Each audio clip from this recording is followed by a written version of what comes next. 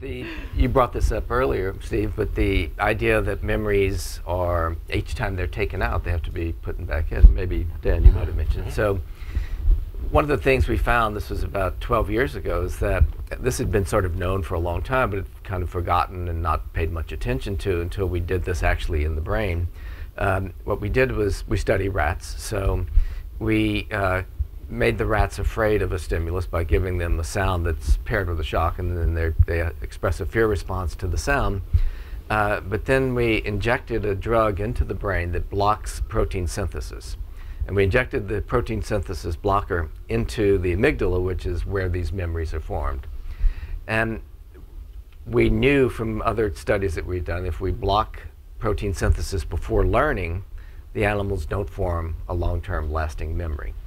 Um, but in this case, uh, Karim Nader, who was a postdoc in my lab, asked the question, what would happen if we block protein synthesis after the retrieval of the memory? And when we did that uh, and tested the animals a couple of days later, they no longer were afraid of the stimulus.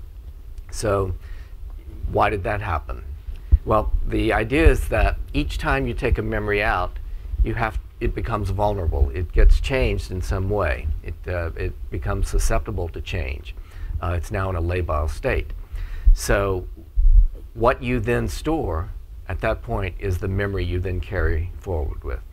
And the um, um, basically the bottom line, and you know, we don't know if this happens for every kind of memory, some kinds of memory, all instances of memory, and there are lots of debates now about exactly under what conditions this applies.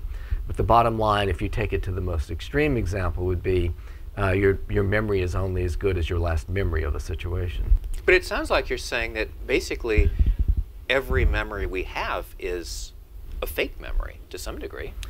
That may be true. It, it may be faked in a very small way that uh, is imperceptible and, and meaningless, or it could be fake in a very profound way.